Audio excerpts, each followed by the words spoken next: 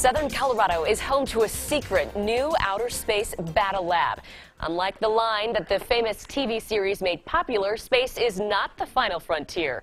If we've learned anything, space is the new battlefield and one that military leaders recognize cannot be lost. The nation's security and yours depends on it. It's out of that the Joint Interagency Combined Space Operations Center was formed. The center, headquartered at Schriever Air Force Base, soft launched this week. Only on 13, why it's so critical.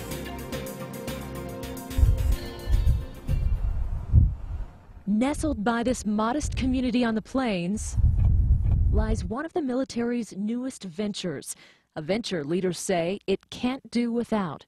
Its inception comes right from Secretary of Defense Ash Carter. The Joint Interagency Combined Space Operations Center is at the highest security level known, which means our cameras cannot show you the facilities here at Schriever Air Force Base. The goal is complex to respond to an evolving threat, one that comes from beyond our Earth's atmosphere. Nearly every facet of our lives is connected to satellite communications. ATMs, TV, GPS, for the military, satellites are critical. From the ground... Give me a ranging grid to the target. Range is 1,700 meters. Hey, we're still waiting for the satellites to acquire. To the air, to the sea, it is all connected. Up there, navigation, missile warning, surveillance, reconnaissance, communications. And now military leaders are asking, what if? Be advised, we're showing indications of jamming over the target area. We've been doing space ops for 50 years. Uh, and but it's been in a benign environment. Not anymore. Military leaders made this blistering announcement at the 2016 Space Symposium. The United States has lost the ability to determine where potential threats in space come from. It was a wake-up call.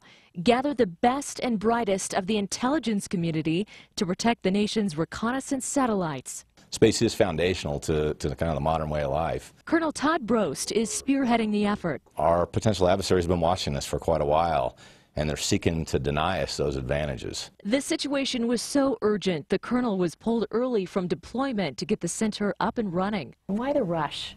Why, why put the rush on it? Because the threats in some cases are here, and in some cases are very close to being here. Because this is such a new venture, we really had to learn about you know what kind of people we needed, what kind of systems we needed, the data required, the processes.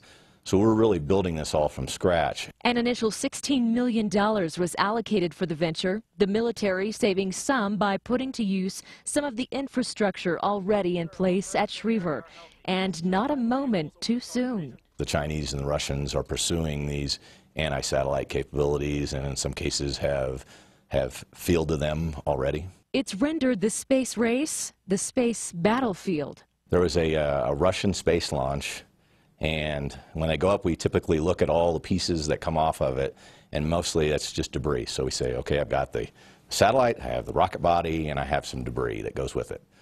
Uh, some period later, the debris starts moving. Debris doesn't move. That's the things we're worried about. Are there hidden payloads out there that could be a threat to our space capabilities? Which means any satellite launch and eventual orbit will be watched by this secretive mission. We're going to watch the objects in space. Are they doing anything unusual that isn't consistent with what the stated purpose of those uh, satellites are, or if it's debris, to confirm that it actually is debris? The Joint Interagency Combined Space Operations Center will be fully operational January of 2018 and employ 200 people. There are seven military installations operating in Colorado. Schriever, NORAD, the North American Aerospace Defense Command, inside Cheyenne Mountain, Peterson Air Force Base borders Colorado Springs to the east, Fort Carson to the south, and the Air Force Academy to the north.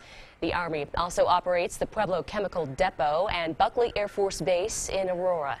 The Air Force is investing billions of dollars in the space race. In fact, the Secretary of the Air Force is also the Department of Defense Principal Space Advisor.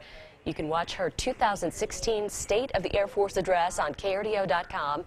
I've also included this strategic intent document from the commander of the Air Force Space Command. Kind of scary.